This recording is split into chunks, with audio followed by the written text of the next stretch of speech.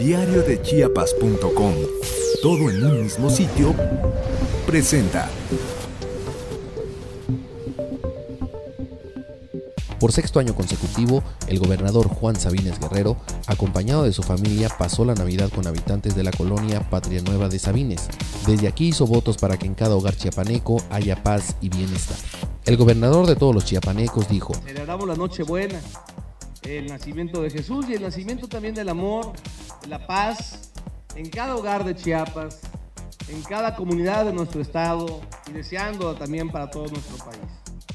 Estamos celebrando y deseando que haya mucha salud para cada una de sus familias. Acompañado de la presidenta del DIF, Isabel Aguilera de Sabines, de sus hijos Isabel, Juan y Jaime, así como de su señora madre, María de los Ángeles Guerrero, el jefe del Ejecutivo agradeció el respaldo y amistad brindada hacia su persona por estas familias y en general de todo el pueblo chiapaneco. ¿A quién pertenece?